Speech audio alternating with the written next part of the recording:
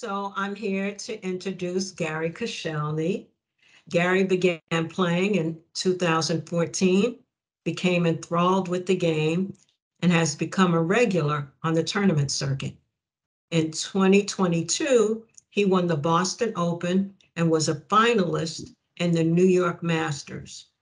He has attained the ranking of Master M3 from the BMAB and is a teaching pro with the Backgammon Learning Center. Today, he will be talking to us about the basic tools essential to making proper cube decisions in racing games.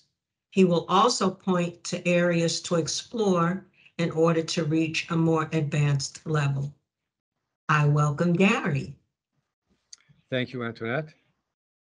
Let me uh, share the screen.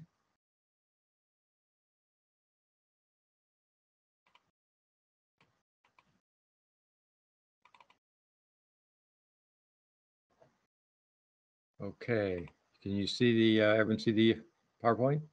Or not the PowerPoint, but the PDF? Yep, we can see it. It's just Okay, great. good. So, um, welcome, everybody. Thank you for coming. Uh, I wanted to talk about, um, uh, Cube, uh, because usually people don't like to talk about it, and it's one of the more difficult aspects of the game. Um, for everyone, uh, if you compare PR performance rating uh, of the top level people and or anybody for that matter, it's usually their their cube play is usually worse than their checker play. Um, um, and and the reason for that is it's more difficult. it's harder to see intuitively uh, what's what's going to happen and what the right uh, moves are.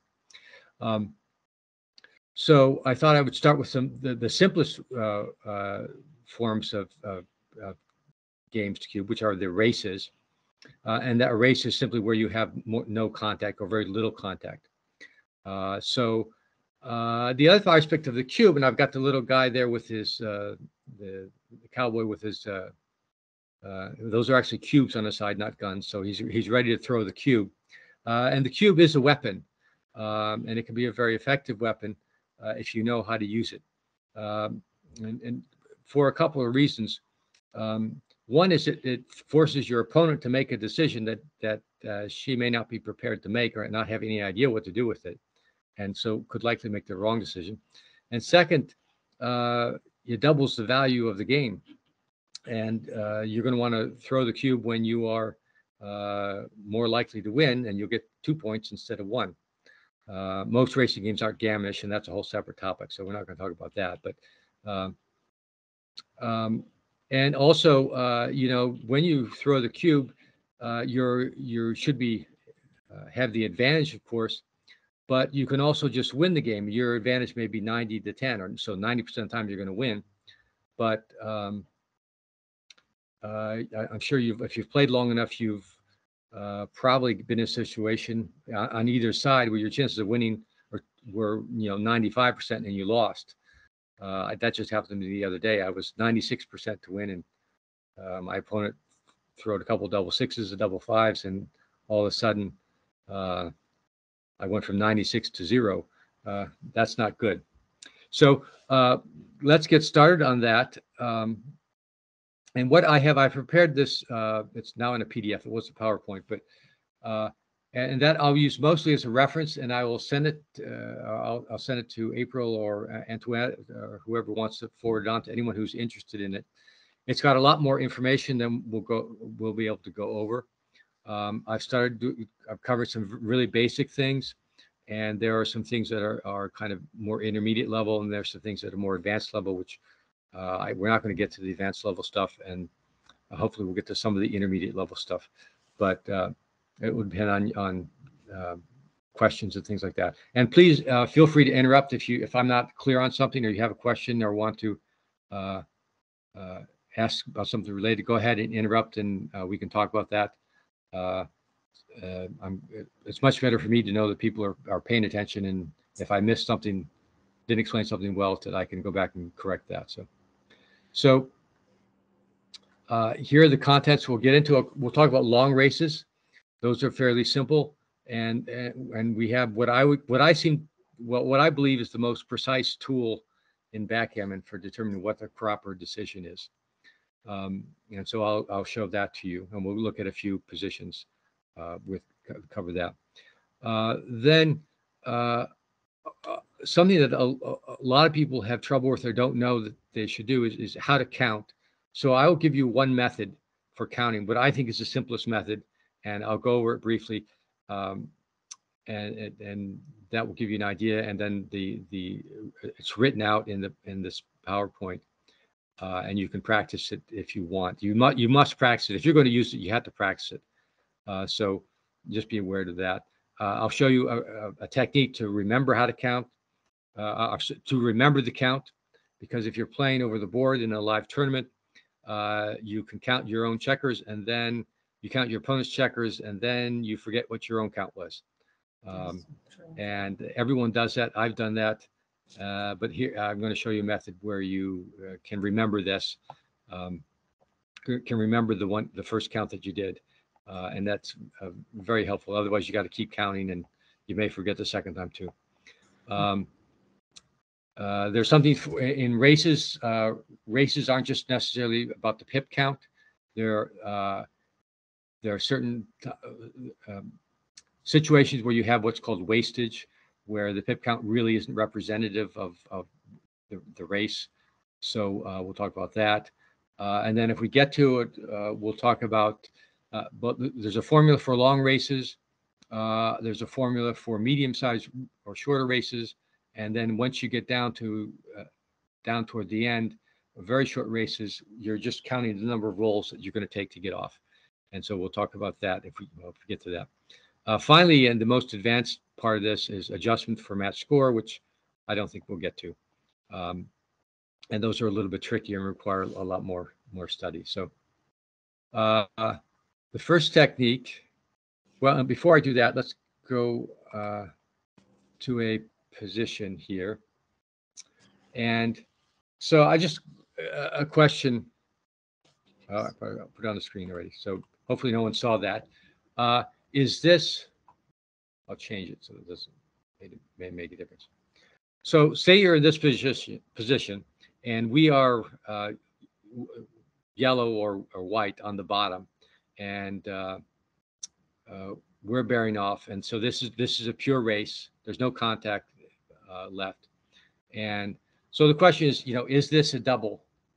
Um, and is if it is a double, is it a take? So take a look at that, and uh, I'll give you a few uh, a few seconds, and someone can venture a guess. And um, and if you want to explain how you came up with that, that would that would be helpful too.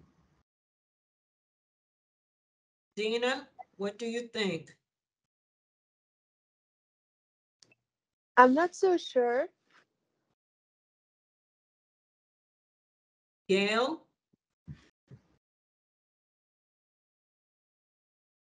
Gail, do you want to, Yeah, um, I think it's a, uh, I assume it's yellow, yellow's turn. Yes, correct? yellow's on roll. Yeah, yellow's on roll. Um, yeah, I think it's a double. I think it's a double because, um, there's, our opponent has two blanks on twenty-three and twenty-four. We have one, we have three to get in, he has four to get in. Uh, I mean, it's marginal. He could throw doubles twice and, you know, we'll lose, but I think that it's worth the risk. Karen Doobie?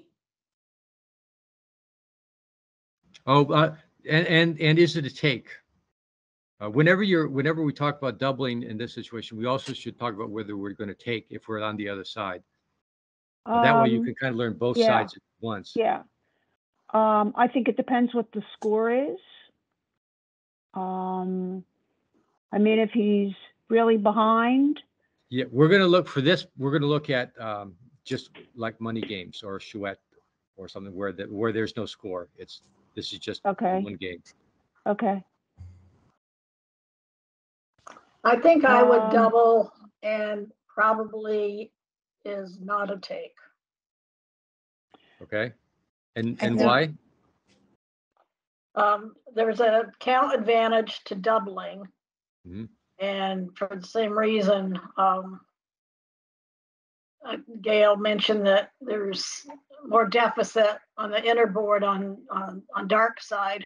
Mhm. And they have a little bit further to go to get in, so, um, you know, if it was a match point game, maybe that would be different. If I was two or three behind, I might take.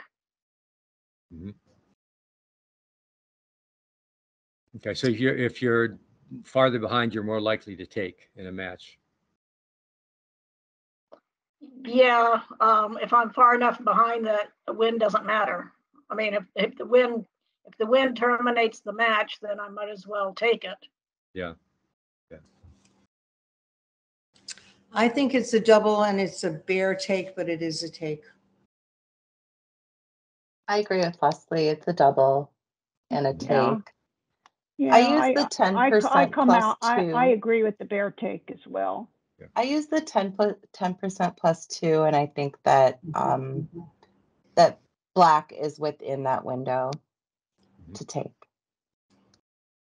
Okay, good. Well, the ten percent plus two is what I'm going to teach you. So, uh, thank you, April, for uh, saying that. I'm glad, glad someone knows that already. That's good. So, yeah, uh, a lot of good things were mentioned here. Um, some things matter more than the other. The, the main thing is the race, which is based on the pip count here. So, uh, yellow is up 75, is head by nine, 75 to 84. So, and, and yellow is on roll. And so we're always going to be looking uh, today and generally when, you- when we look at things, if we're considering a cube, we're on roll. Uh, because obviously we can't cube if we're not on a roll. Just if for those of you not familiar with XG, uh, the dice over here tell you who's on roll. So if they're they're yellow here, so uh, yellow's on roll. If we switch it, now they're black, and so blacks are brown. Brown's on roll. So, uh, but generally we're always going to taking it from the position of of, of yellow um, at at the bottom of the screen. So uh, the formula that we use and and uh, it, races are funny in that there's what's called a doubling window. Um, and the and and the window is only three pips long. So what the doubling window I means is that the window opens uh, at a certain point, and that's the point at which you should double, um, and and and which your opponent would take. And then there's three pips uh, difference is the what's called the point of last take, and that's the point which you should double, but that's the last point at which you, the uh, re- your opponent should take um, and it's only three pips long. Um, and uh, it, you know, it's it's it's very accurate uh, in, in terms of the proper move to make. So, okay, so how do we do this now? All right, we're we know we're ahead in the race. Uh, a number of you have mentioned things like the open spaces here, and um, uh, what what what basically factors into a distribution is how the checkers di- are distributed, and so that's going to be very important. Um, However, uh, what was mentioned is not that critical. So the fact that these two points are open uh, doesn't really matter. Uh, It doesn't, it's not going to affect our decision. Now, if we had a stack here,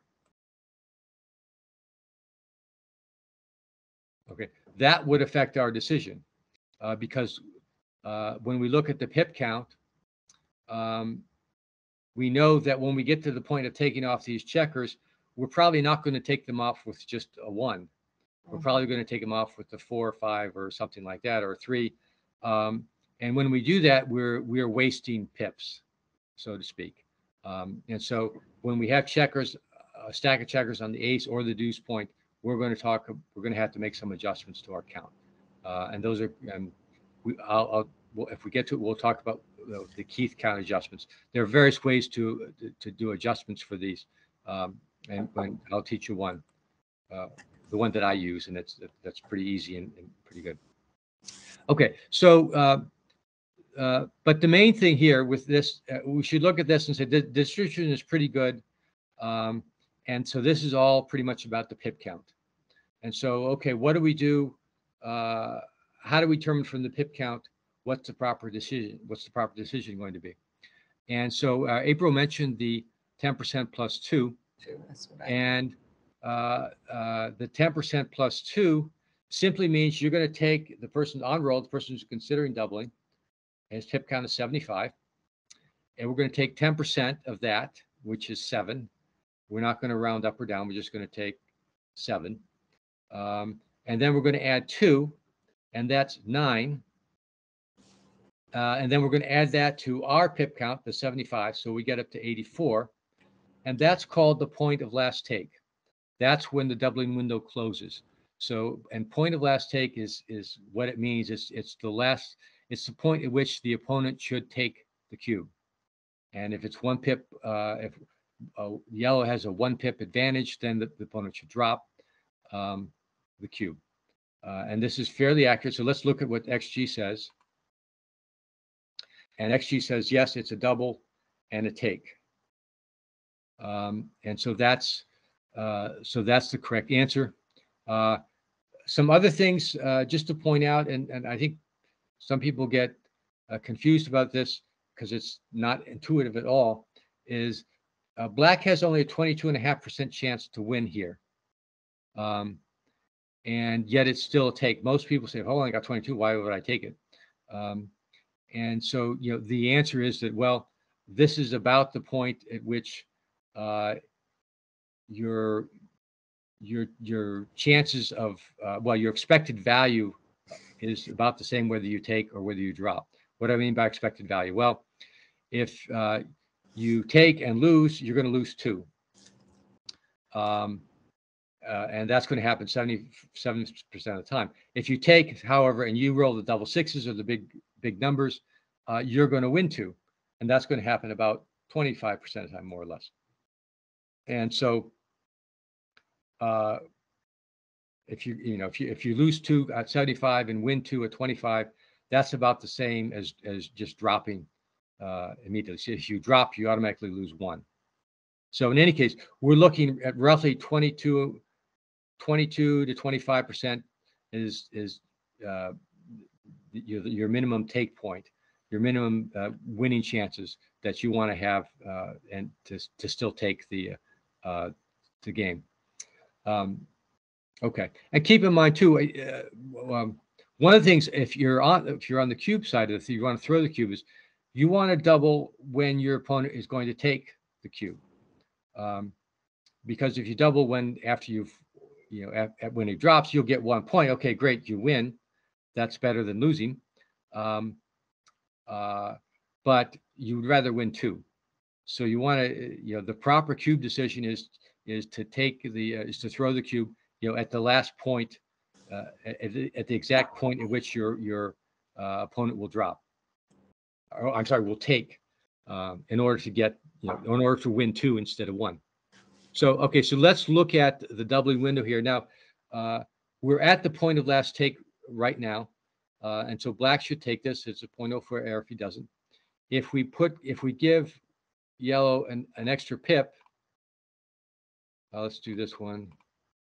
Okay. Now it's a drop. And these are very close. Uh, and uh, you know, one of the reasons I say these this is most accurate is that you know, I don't know of anything else in backgammon, any rule, any tool that you can use that um, you know gets you within one pip of being right. Uh, and so this is uh, this is almost always right within one one pip. You know sometimes it's a pip off and and you know if you follow the uh, the method you'll make a small error. But um, uh, but that's that's pretty good. Um, any other method that that i've learned about particularly with respect to the cube uh, there's a lot of well kind of fuzziness where you sort of looks and thinks and you think it's right but you know you can't really be sure and if you adjusted by one pip it probably wouldn't make any difference in what you were thinking um, here it, it's all comes down to you know pretty much math. Okay, so uh, now the, the doubling window is three pips. What that means is that, uh, and we're right at the window here, if we move a checker back three pips, uh, this should still be a double and a take. Well, obviously it's a take. Um, and, and it's barely a double here. Uh, so uh, and if we move, move another pip back, now this is too early to double, and it's a no double. And again, these are very close, and sometimes they'll be off by a pip or so. But uh, you know, it's it's it's always amazing to me how accurate this is. Um, Hmm. uh, and it applies to, you know, uh, we just scatter the checkers around again. We're at 80, so.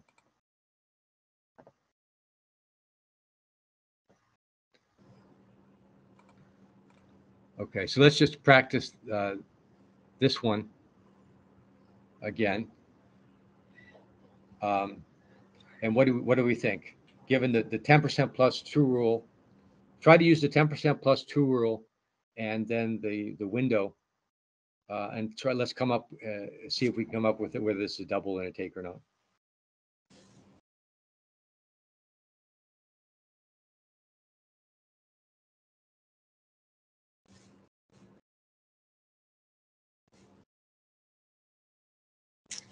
It's a double. Okay, So someone Gary- a double? I have a question. You Yeah. were, you were, to get to your doubling window, you were subtracting three pips Yeah. from the point of last take. Is that right? That's right. Okay. So in this case, it would be, the point of last take would be ten. And then if you subtract three, it would be seven. Um. And there's eight pips. Um, 97. yeah, so it looks like. Looks like a double to me. Double and take or pass.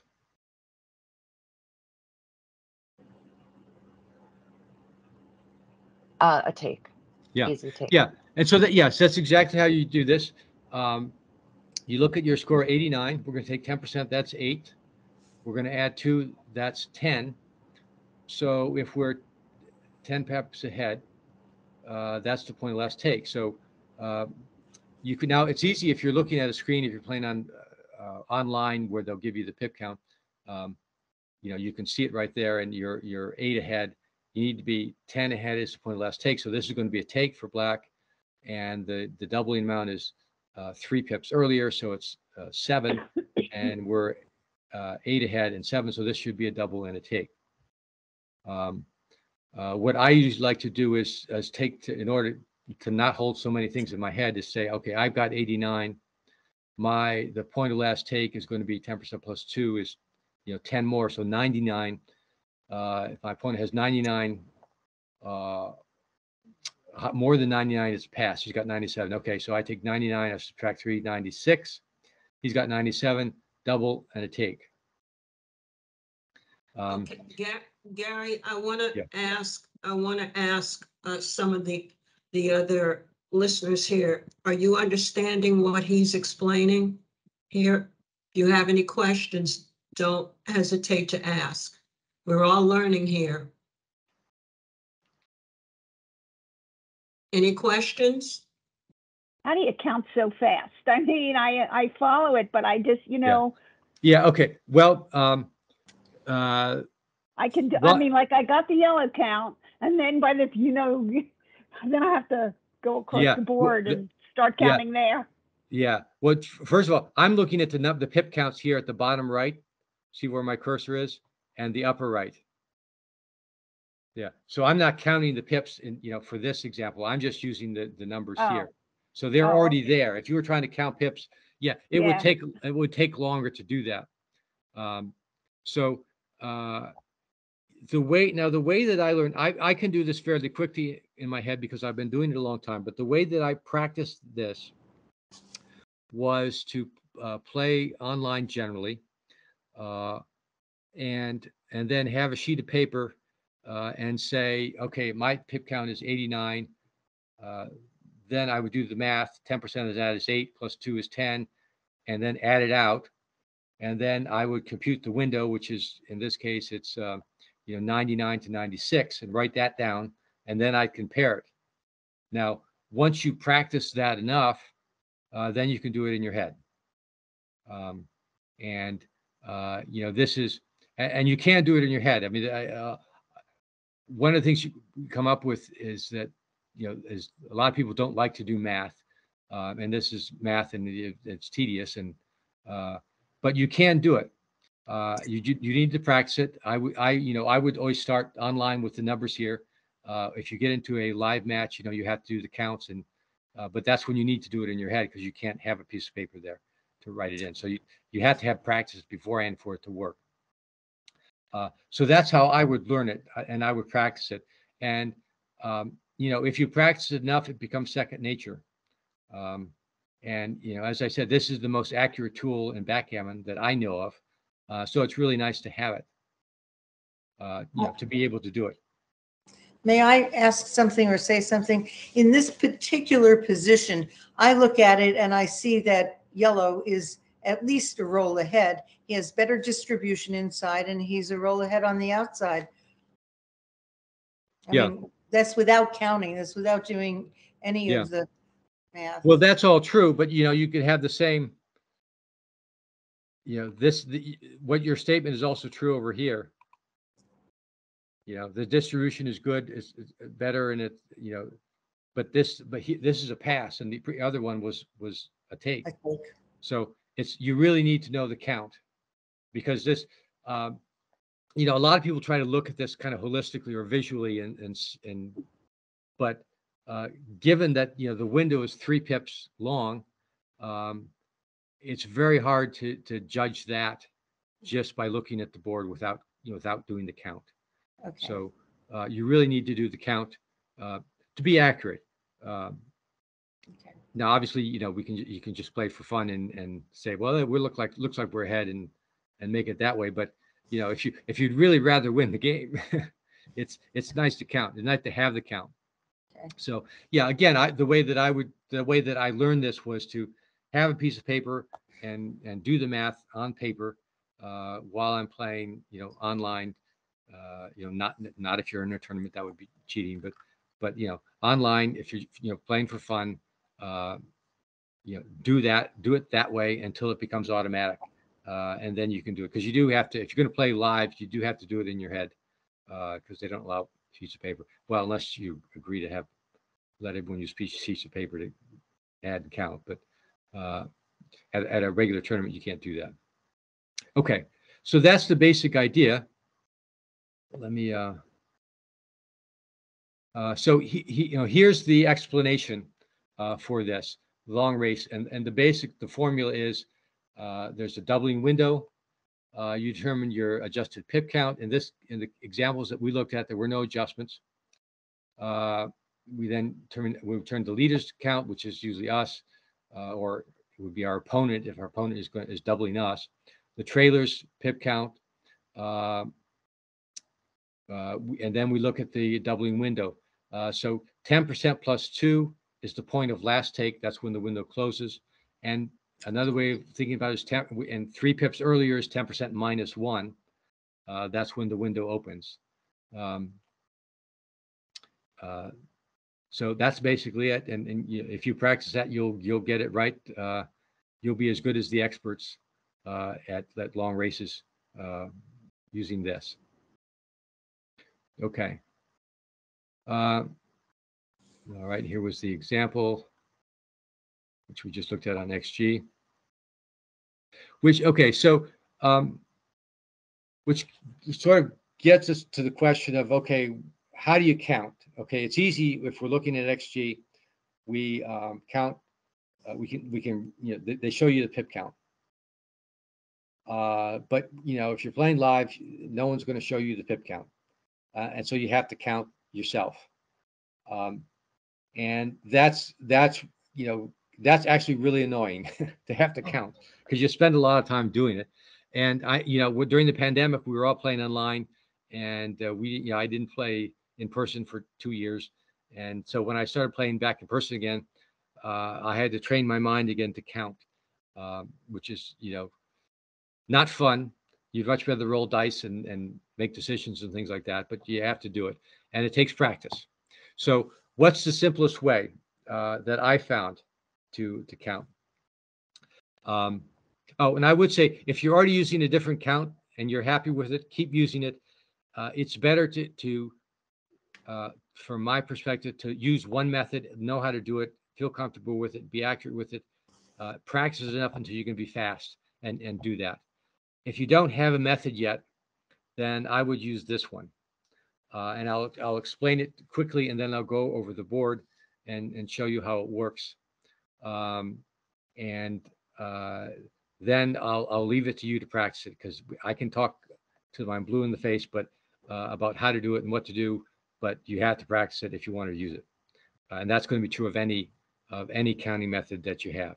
Um, so uh, what we do, the easiest way that I've seen and, and have taught people to use is basically you're going to go through all your points and you're going to add up the pip value, which is you know the marker value. I'll show you what that is on XG for all the points uh, with with two checkers.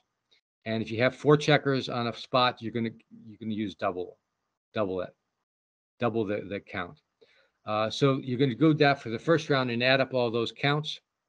Uh, and then on the second round, you're going to go and add up all the, uh, add on all the uh, pips, pip uh, markers for the ones that have odd numbers, that have a, a, a lone checker or a third checker, or in some cases, a fifth checker, if that's the case. And that gives you the count. Um, so what did I mean by that? Um, here, this is, now this is pretty easy because they're all two. So what I would do here is, um, I, you know, I'd go through the count. So this is three, I'd say, th- uh, three, oh, I forgot to, well, I'll, I'll show you stuff I, I think I forgot to mention before. So I go three plus four is seven, five is 12, six is 18, uh, seven is 25, eight is, uh, 33. Okay. So I've now I've counted all the check, all the spots with two checkers on them and come up with 33. So then I'm going to multiply that by two because I had two checkers on each. So that's 66. Then I'm going to start over and say 66 plus two is 68, plus seven is 75, plus nine is 84. Okay, 84 is the pip count. Okay. So, um, uh, now there are other ways of doing that, uh, of doing the count. Um, none of them I think are as simple as this. I'm not sure. Well, um, I it's simpler, I think, because it's easy to add the numbers uh, up. You're not adding anything difficult. You're not, you know, you're not carrying anything by. Well, I guess if you get if you have checkers on the other side, it becomes a little more difficult, but but it- it's still it's the simplest way. Um, and you know, I don't want to spend a lot of time. Oh, let me. I'll, I'll do another example. Let's say we have five checkers here. How would I do that? Okay, well, I'd start with four plus five is nine. Now six, we have four on, on here, so I'm going to count twice. So nine plus six is 15, plus another six is 21. Uh, plus seven is 28, plus eight is 36. I'm going to multiply that by two, that's 72. One here is 74, six is uh, 80, and nine is 89. And so you come up with 89. So, uh, you know, it's a lot of simple math, uh, but really I came to that 89 pretty quickly. Uh, you know, if you if you sit around and you know watch people try to count pips, uh, that's probably about as fast as you can get uh, to to come up with, you know, to come up with this number.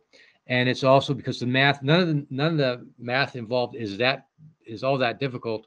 Uh, it's usually pretty accurate.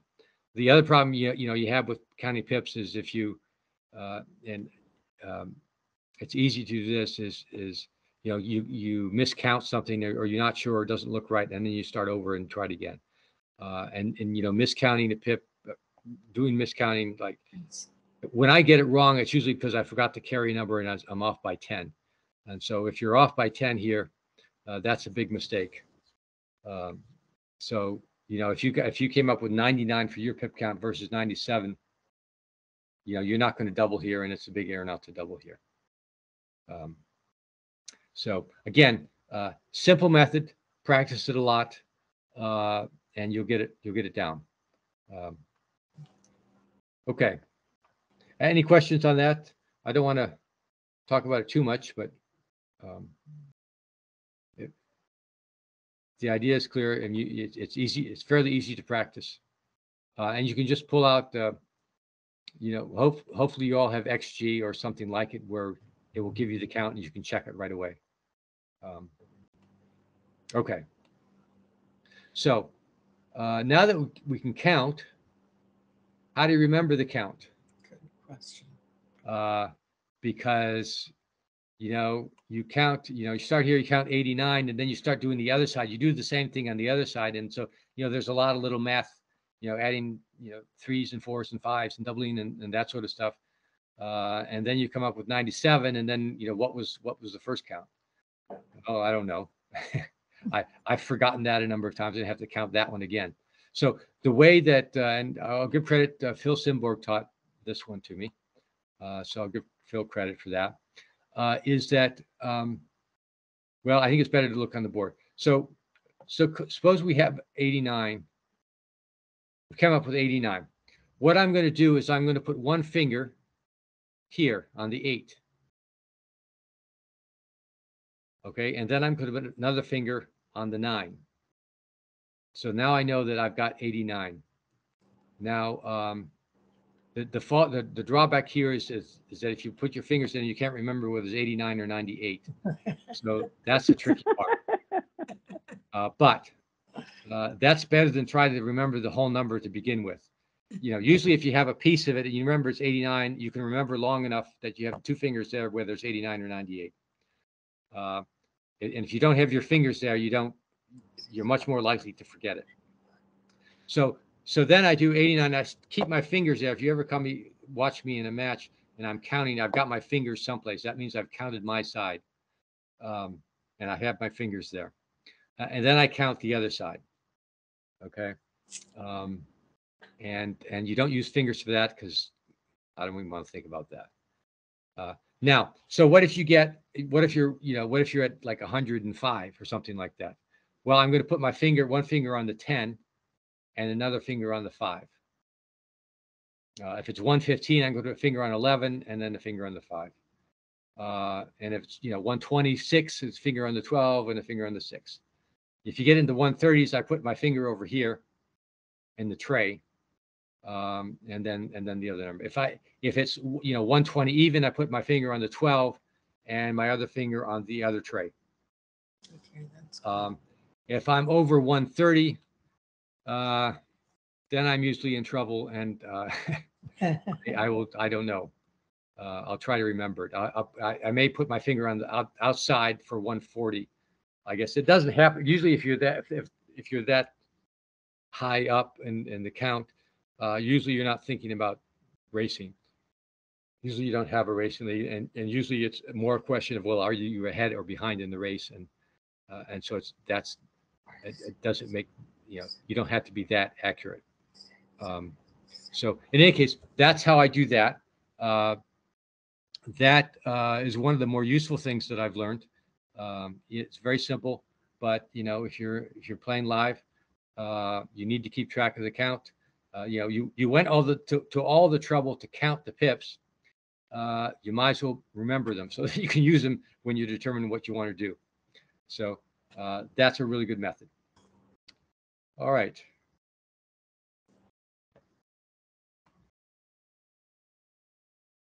Next topic is ah, the Keith count. Yeah. Okay. So uh, we've talked about this, and and some people mentioned that the distribution is important. Uh, they mentioned gaps. Uh, gaps are important, um, and so uh, let's talk about how we adjust uh, with the Keith count. Uh, now, Keith, there's there's a backgammon player named Keith. I don't know what his first name was, uh, and uh, from what my understanding was, he was just kind of playing around with uh, uh, XG or whatever the equivalent was when he was doing it, and and trying to figure out, you know, how much the a good method for the distribution for for adjustments to the distribution came up with. So he sort of did this by trial and error. Uh, there are other methods, uh, other adjustment methods that I've seen. Um, uh, uh, some are, most of them seem to be a bit more complicated. Uh, this is very, um, very mechanical. Uh, you, you learn it and then you can just do it right away and you don't have to think about it. You don't have to wonder about too many things. And it's, it's, it's fairly accurate. Uh, there are occasionally um, uh, times where, where certain things are, the adjustment isn't quite right. So it's not as accurate as say the 10 10% plus two rule is, but it will give you uh, a much better um, uh, feel and a much better adjustment for funny distributions than you can by just looking at it. Because basically, essentially, there are times when the pip count is a good measure of how how soon you're going to get off, but it's not always a good measure if the distribution isn't isn't right, uh, is is, uneven. So let's take a look at our adjustments for it here, and they're listed here.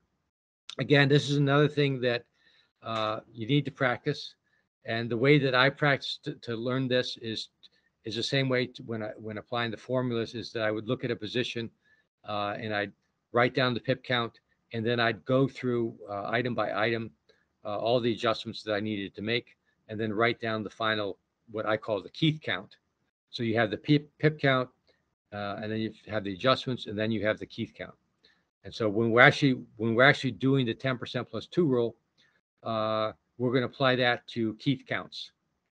Um, now, in the first example I gave, it didn't matter because I didn't want to go into at that time. The, the Keith count was the pip count. Um, but now we're going to look at adjustments that you want to make. Okay. So they're listed here. We'll go through them uh, over the board in a minute.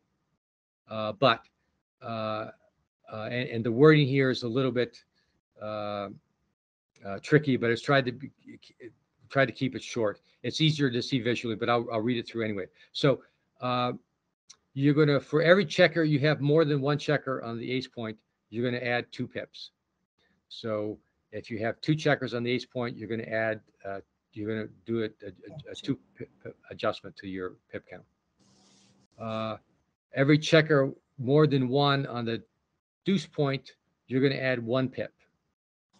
So if you have two checkers on the deuce point, you're going to add one pip. Uh, if you have, for every checker more than three on the three point, you're going to add one pip. Um, and uh, if you uh, if you have an empty four, five, or six point, you're also going to add one pip for that empty point. Uh, if you, and if you have an empty five and a six, you add two two pips. So it's one one pip for each empty point. Um, one thing, uh, and then I added E one. Um, that's that wasn't in the Keith count that that I learned originally. I don't think it. Uh, well, XG will do the Keith count for you. I'll show you how they do that, uh, where you can find that. But I don't. I don't think this is in the XG uh, Keith count. Is it if if one uh, player has more checkers off than the other, then uh, the one that's behind has fewer checkers off. I usually give them one extra pip for every checker difference. So if you know if my opponent has a checker off and I don't, I'm going to add one to my pip count for that checker. Okay. All right. So what does all that mean? That was a lot to remember. Um, uh, so let's look at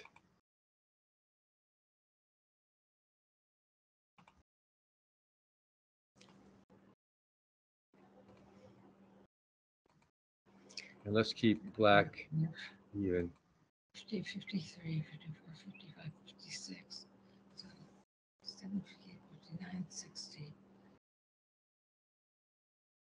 61, 61.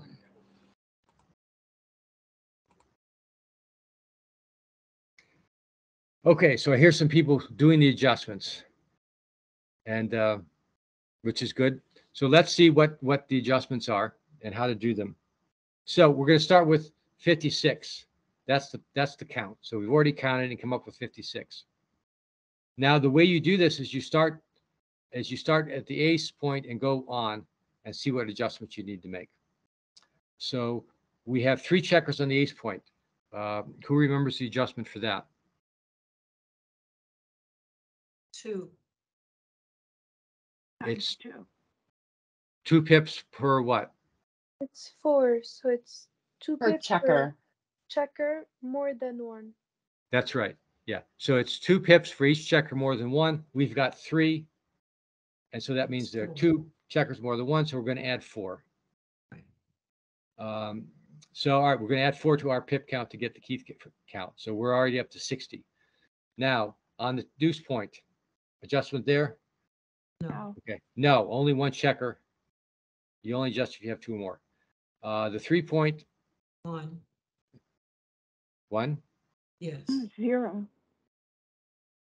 Uh, yeah, no, it's zero. It's, it's for, uh, more than three. Oh, Uh, more than three. So we only have two, so there's no adjustment for that.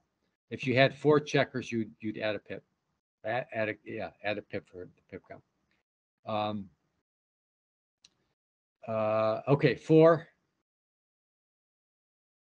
no adjustment there. It's not, it's not open.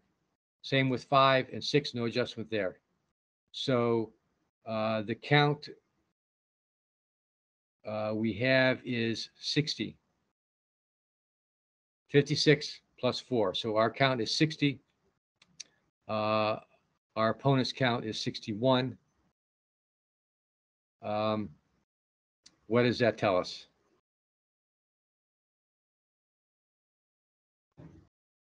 Well, well, so what I mean is that is, is this a double, a t- a take or a pass?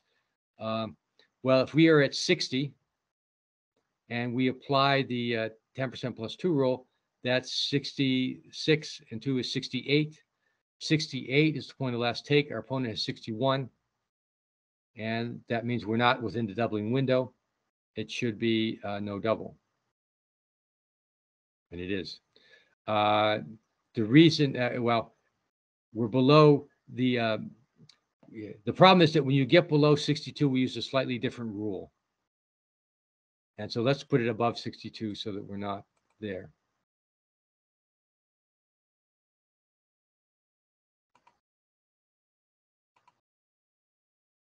Let's see.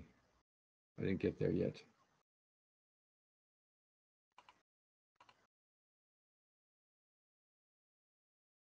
Oh, I know.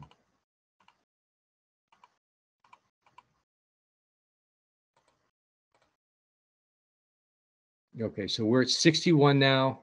I need to do a little bit more here. 63, we're going to add 4 to 67. That should work. And so this should be a no double, right?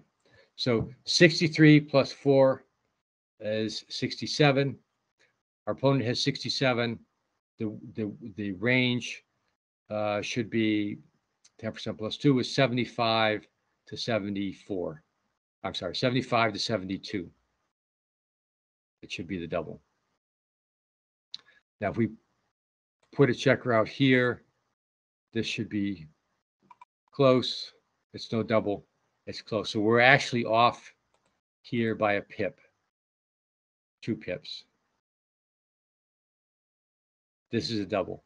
So, you know, again, the Keith count, the adjustments aren't as, uh, you know, it's not as accurate if you have to use these adjustments, but they, you know, they give you the idea. Um,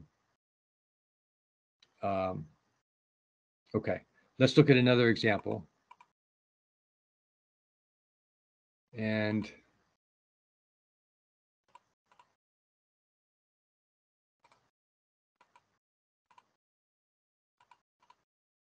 I think this one actually let's make it longer. Wow. We're gonna run into this, this same problem again, but I know, let's put them all the same.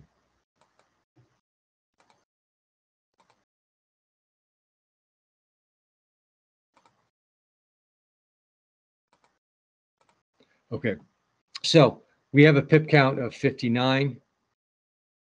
Uh, and let's go through the adjustments again. On the ace point, we have two, so we're going to penalize ourselves. How much? Two. Two. So we're up to 61. Uh, deuce point, we have two.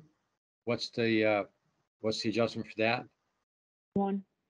One, so we're up to uh, 62 now. Uh, nothing for three because we have three or fewer. Nothing for four, it's not open. Uh, five point One. is open, so one, uh, and that's it. Um, so one pip, two pips, two more is four. We're up to 63. Uh, okay, our opponent now starts with 64, but he has the same adjustments. Two, three, four. So he's up to 68. So if you look at that, um, 64 uh, and, and 10% plus two is eight, 72. We're down to 69. This is actually not as close as it should be. Well, you know, you know, the problem is we're running into the, we're getting into a shorter race. Um, generally, when you have a shorter race, we have to use the, the other formula.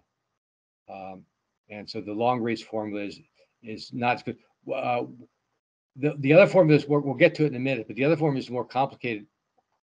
But uh, in general, what the, if you want to use the uh, ten percent plus do rule, is that you need to uh, bump it up by two to three pips, depending on, on the race. So uh, this is actually, we would probably use the ten percent, what the equivalent of a ten percent rule here.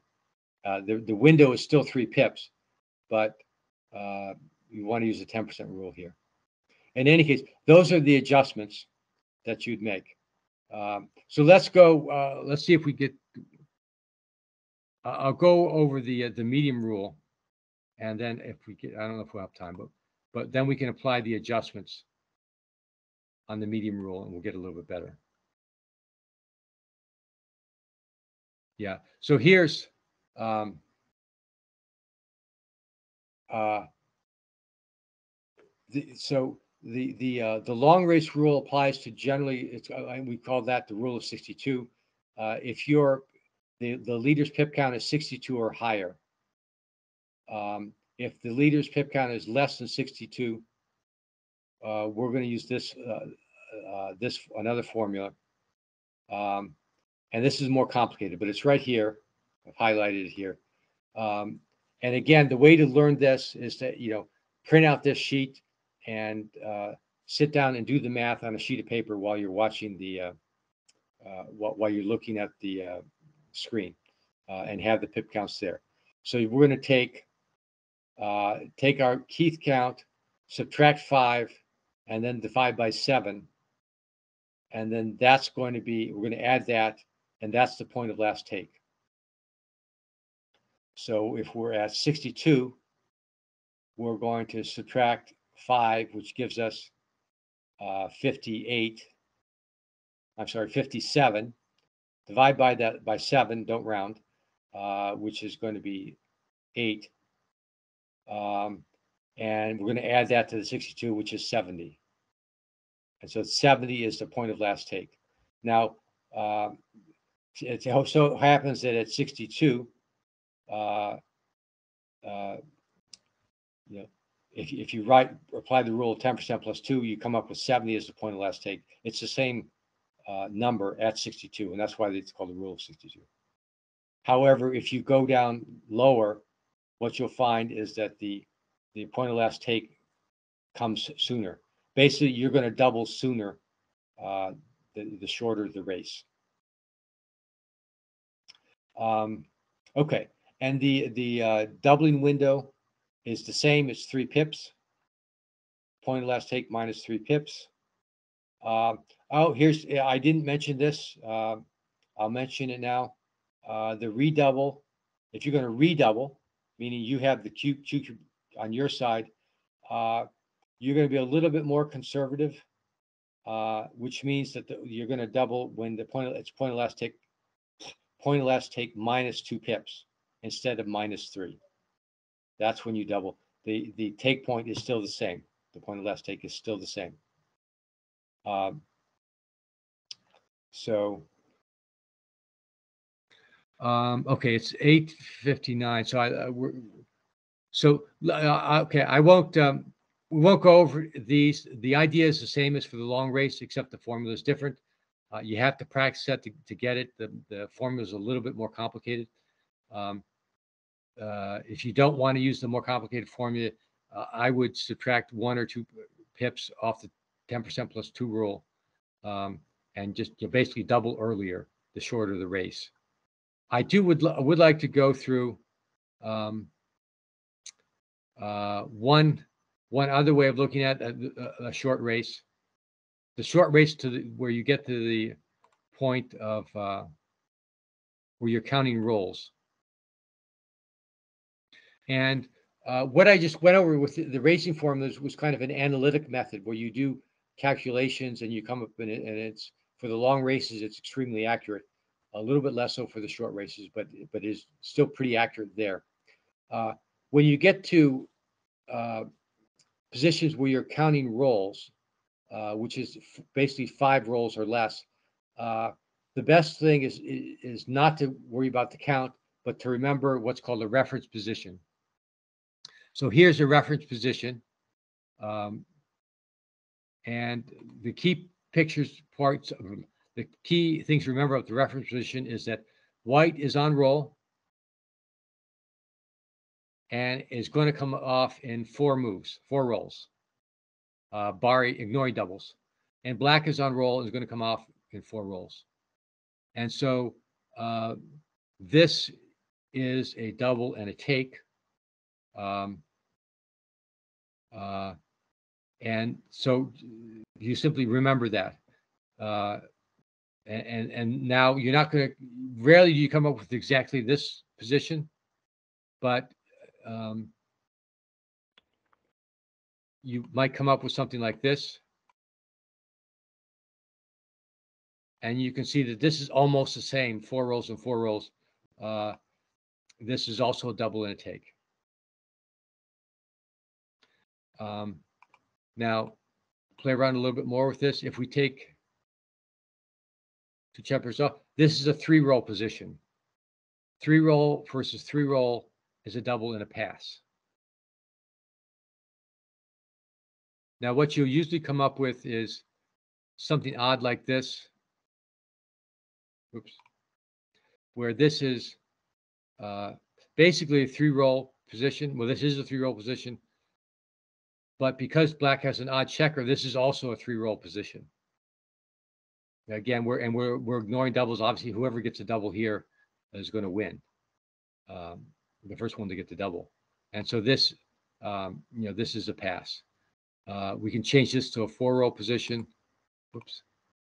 Uh, yeah, this there are only seven checkers, but it's still a four roll position.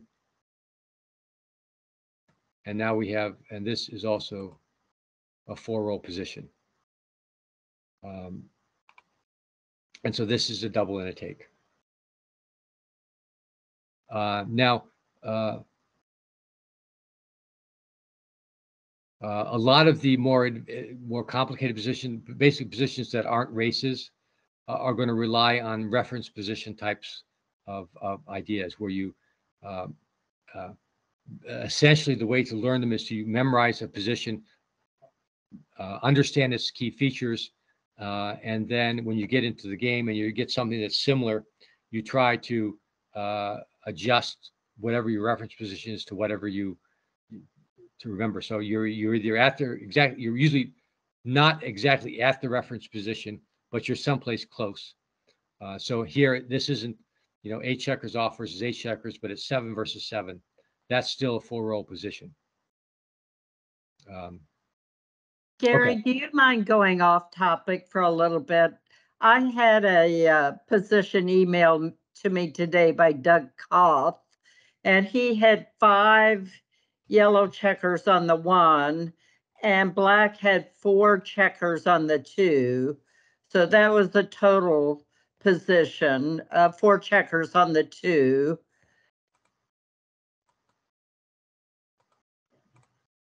Yeah, that was it. yeah, And he was white and he doubled. yeah, And I was was, great. Without setting it up, I was just trying to go through it. So I'm just, Yeah, that's the tricky one because you look, okay, we've got five checkers, so we're off uh, in three rolls. Uh, black has four checkers, so black could be off in two rolls unless black rolls an ace. Mhm. um, uh, not double aces, but an ace.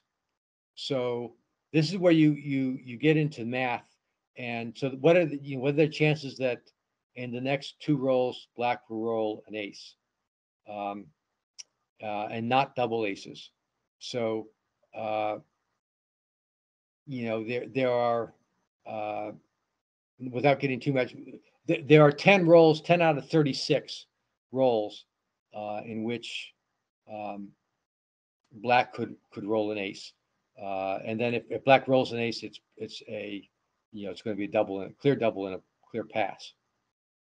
Um, so the way to figure that out is really to do the math to figure out your winning chances, uh, and so you would go to figure out the chances of rolling the ace in the next two. Uh, I usually do something like okay, it's one third 10 out of 36 is roughly one third, not quite, it's a little bit lower than that. Uh, so the chances that he'll uh, that he'll um, not roll an ace are two thirds. Um, and so the chances that he'll not roll an ace in either of the next two is two thirds times two thirds, which is four ninths. Uh, uh, make it a little less, about 40% of the time. So um, you know, what I would say is that sixty percent of the time he's not going to roll an ace, and forty percent of the time he is going to roll an ace. If he rolls an ace, generally white's going to win, and black will lose. Uh, so uh, I would not have doubled here. Let's see what it is. It's yeah.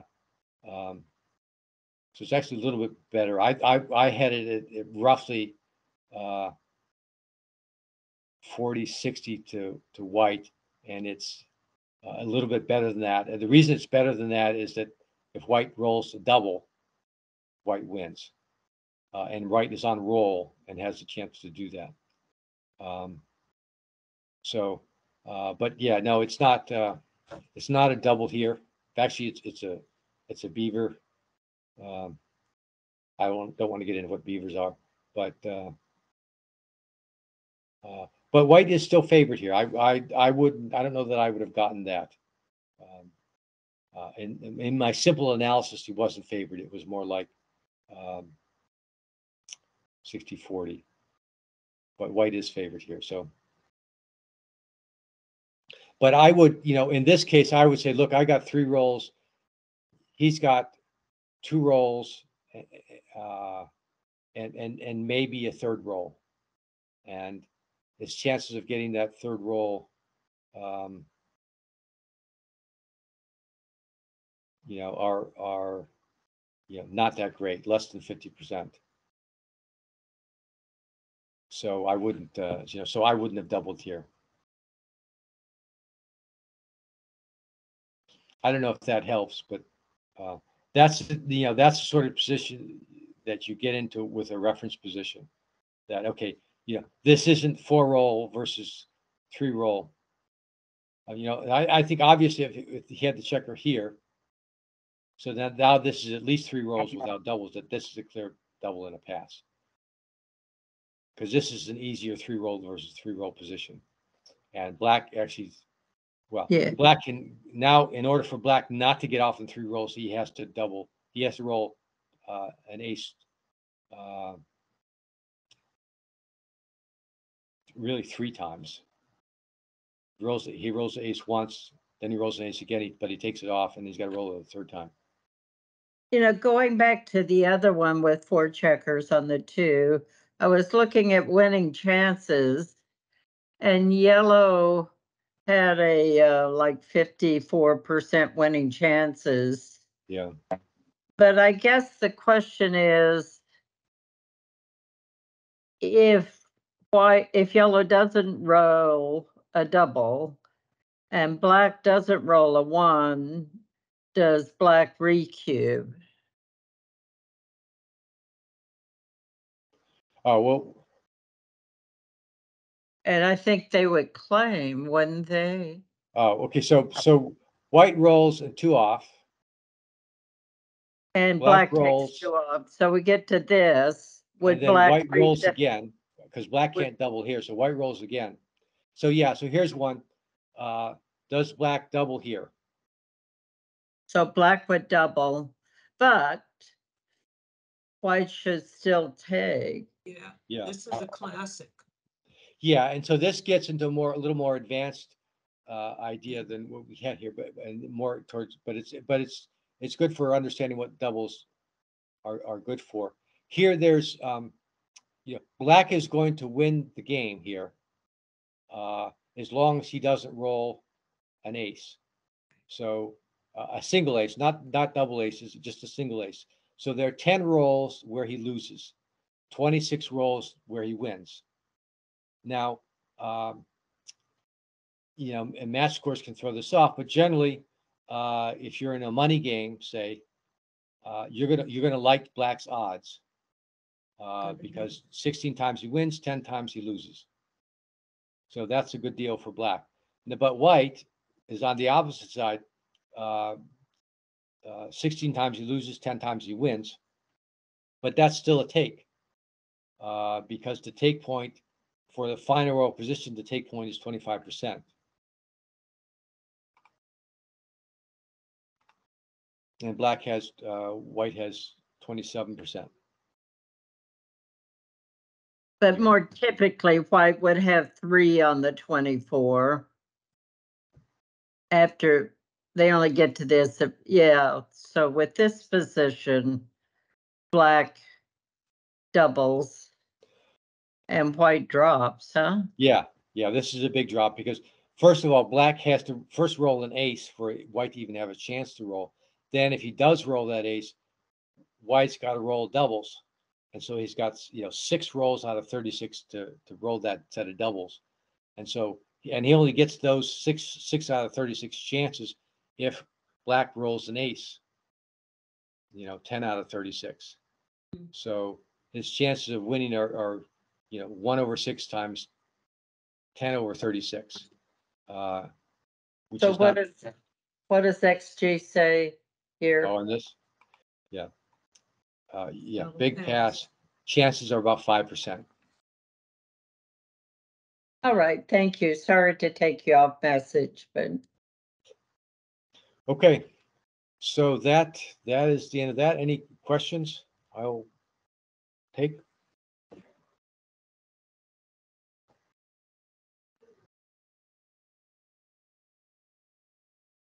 If not, thank you for coming and um, again, I will send the uh, PowerPoint over to, uh, I forget who's going to get it, uh, April, I guess. I'll take it. Yeah, you can Okay. send it to me. I'll send it to April and then um, you can send it out to whoever, whoever would like to have it. Thank you Well- so much, Gary. Okay, you're welcome. Thank you. This is a very everyone for coming. complicated topic and I appreciate that you're giving us a handout because I think a lot of us would love to review this and it takes some practice at home, but it helps to be pushed in the right direction, Gary. So Yeah, yeah, no, I don't think anyone can absorb all it. this and apply it, uh, you know, just based on one, you know, one session like this. Um, so yeah, t- take it, practice as much as you, as you can, as much as you need to. Uh, you know, doing it, if you're playing online, it's a good time to practice that when you have the counts that you can, you know, you can check. Um, uh, that you're doing that and, um, and, and good luck. It, it will work. thank you so you much, again. Gary. I'll, I'll send the handout out via email. So just look for that in your email inbox. Good night. Thank you very much. Very informative. Okay, have a good, have a good evening.